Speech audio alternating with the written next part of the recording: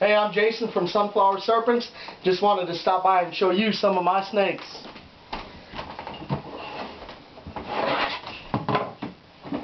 Right now, I have a homemade rack. It's not the best, but it works for me.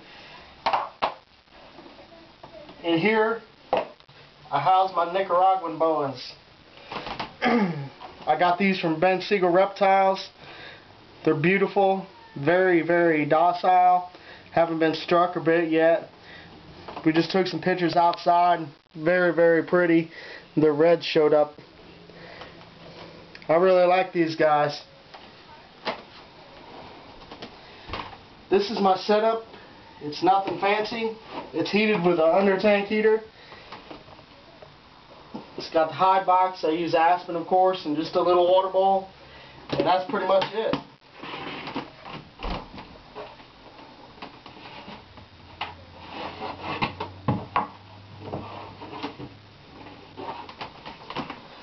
This is my female hog island.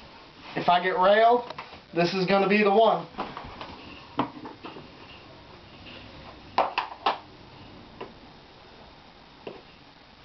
Oh. She's a good girl, but she likes to uh, likes to snap every now and then. But as long as she's secured around my arm, she's fine.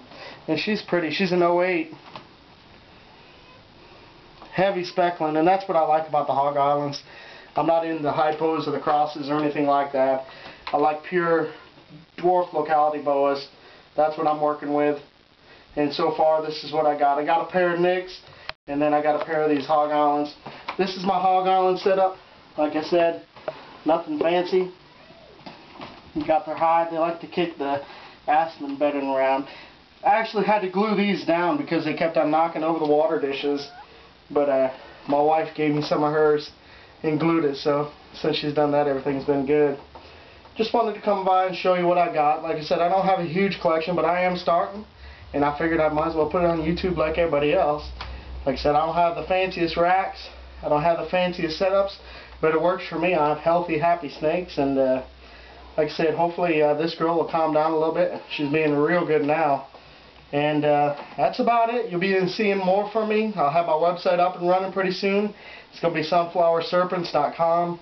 And uh, that's about it for now. Hope you enjoyed it. Short and sweet and to the point, and I'll be back.